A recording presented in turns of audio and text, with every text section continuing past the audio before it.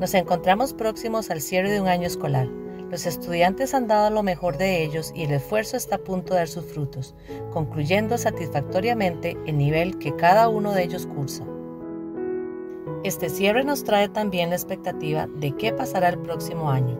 Esta transición es un cambio que hacen los estudiantes de una fase de la educación a otra y que representa desafíos desde el punto de vista de relaciones sociales, el estilo de enseñanza, el ambiente, el espacio, el tiempo, los contextos de aprendizaje y el aprendizaje mismo, haciendo del proceso algo intenso y con demandas crecientes.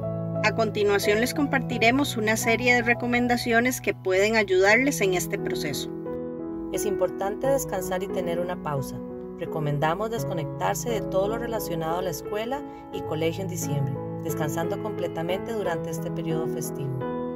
En enero, unos 15 días antes de iniciar el curso escolar 2024, ir poco a poco volviendo a la rutina, estableciendo horarios para dormir y levantarse que se asemejen a los que vendrán. Programarse los días antes y hacer una cuenta regresiva. Con los niños pequeños se recomienda utilizar como ayuda visual un calendario y con todos transmitir siempre una emoción positiva. Involucrar a los chicos en la compra y preparación de todos los materiales escolares para iniciar con entusiasmo y motivación. Crear un ambiente positivo en casa, con comentarios motivadores y afirmaciones positivas. Elogiar la buena transición. Fomentar una actitud abierta frente al cambio.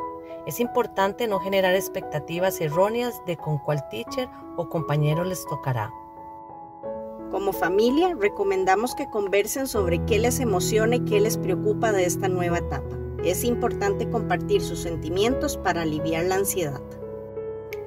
La participación y apoyo de los padres en la transición de año de su hijo es muy importante. Asista a las actividades y reuniones que la escuela programe, tanto al cierre de este año como a la primera del año siguiente.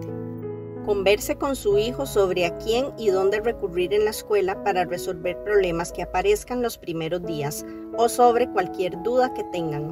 Conozca a los amigos de sus hijos y acérquese a ellos, así como a sus padres.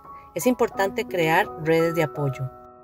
Promueva la independencia, la autoorganización y autogestión de acuerdo a la edad del estudiante. Nuestra meta debe ser que los niños se sientan seguros, así como que reconozcan sus habilidades para aprender y manejar diferentes situaciones o retos que se les presentan.